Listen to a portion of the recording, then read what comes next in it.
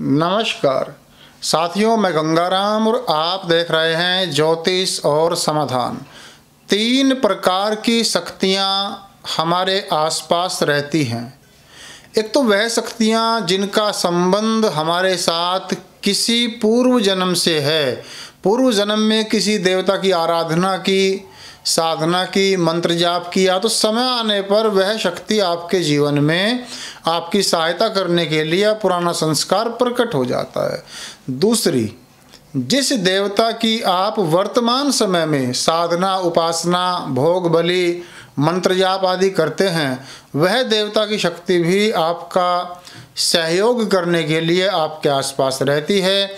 तीसरा, यदि कोई बड़ा साधक आपके विरुद्ध हो जाए या कोई गंदी नियत से आपके खिलाफ तंत्र मंत्र आदि की क्रिया करा दे, काला जादू वगैरह वगैरह तो वह शक्तियाँ भी आपको नकारात्मक रूप से परेशान कर सकती हैं। साथियों, हमारे आसपास इस समय किस देवता की शक्ति एक्टिव है, उसके क्या लक्षण हैं, किस प्रकार से आप व्यवहारिक दृष्टिकोण से पहचान सकते हैं? सकारात्मक है तो और ज़्यादा बढ़िया कैसे करें? नकारात्मक है, नुकसानदायक है तो उससे छुटकारा कैसे पाएँ? इस विषय पर आज विस्तार पूर्वक चर्चा होगी, लेकिन इससे पहले मैं बात को आगे बढ़ाऊं, मैं आपको बता दूँ। यदि आप ज्योतिष के द्वारा अपनी समस्त प्रकार की समस्याओं का समाधान चाहते हैं या आप अच्छी श्रेणी के राशि रत्न खरीदना चाहते हैं तो आप हमसे संपर्क कर सकते हैं। मेरा फ़ोन नंबर, मेरा व्हाट्सअप नंबर आप स्क्रीन पर देख रहे हैं। चलिए साथियों, विषय में आगे बढ़ते हैं। यदि किसी देवता के स्थान में जाकर, किसी मंदिर पर जाकर अंदर से आपका आकर्षण उसकी तरफ़ होता है, आपके हृदय में किसी मंत्र के प्रति या किसी देवता के प्रति, किसी तीर्थ के प्रति पहले से ही अनुराग है, भावनाएँ हैं तो वह आपका पूर्वकृत संस्कार है। किसी जन्म में आपने कोई साधना तपस्या ज़रूर की है। आपका संबंध उस स्थान से रहा है। तो जब भी वह चीज़ सामने पड़ती है, वह मंदिर सामने पड़ता है, वह देवता का चित्र आपके सामने पड़ता है तो वह पुराने वाली भावनाएँ कहीं ना कहीं जाग उठती हैं। तो यदि किसी को देख करके, किसी शक्ति को देख करके आपके हृदय में आकर्षण उत्पन्न होता है तो यह पूर्व का संस्कार होता है। वर्तमान में परिस्थिति के अनुसार जानकारी के हिसाब से या किसी गुरु के द्वारा आपको यदि किसी मंत्र में या किसी साधना में प्रवृत्त कराया गया है, आप साधना कर रहे हैं तो यदि बहुत कुछ आपके जीवन में पॉजिटिव है, बहुत कुछ आपके जीवन में शानदार तरीके से आगे बढ़ रहा है, नब्बे फ़ीसदी तक तो वह तत्काल जो आप साधना कर रहे हैं, उसका प्रभाव होता है। साथियों सब कुछ ठीक ठाक चलते चलते बिना किसी कारण के अपने लोग पराए हो जाएँ। जिन लोगों से आप स्नेह रखते हैं, वही लोग आपको टेंशन देना प्रारंभ कर दें।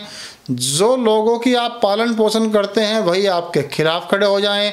अचानक से काम बिगड़ने प्रारंभ हो जाएँ छोटे छोटे गलत संकेत मिलने प्रारंभ हो जाएँ। इस तरह की परिस्थिति में समझ लेना चाहिए, कोई ना कोई काला जादू या कोई तांत्रिक प्रक्रिया या किसी ग्रह स्थिति के, खराब ग्रह स्थिति के कारण कोई नकारात्मक शक्ति निश्चित रूप से आपके जीवन को गलत तरीके से प्रभावित कर रही है।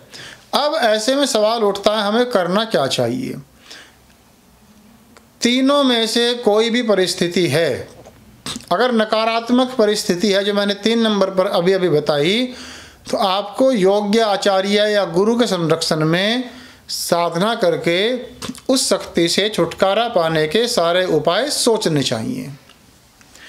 पूर्वकृत किसी देवता से आपका प्रेम है, संबंध है, संस्कार है कोई, और आपका हृदय में भावनाएँ भर जाती हैं किसी मंदिर पर जाकर के, किसी देव स्थान पर जाकर के, ऐसा होता है आमतौर पर तो आपको ज़्यादा प्रयास करना चाहिए कि इस जन्म में भी उसी देवता की साधना को प्रारंभ कर दें।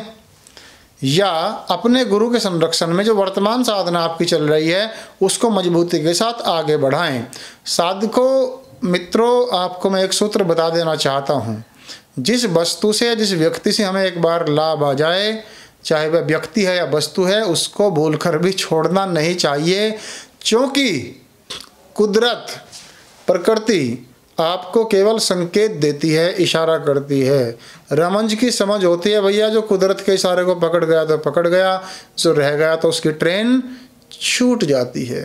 शानदार तरीके से साधना करें, शानदार तरीके से जैसे दूसरे कामों को आप टाइम देते हैं, अपनी साधना को भी ज़्यादा से ज़्यादा टाइम दें।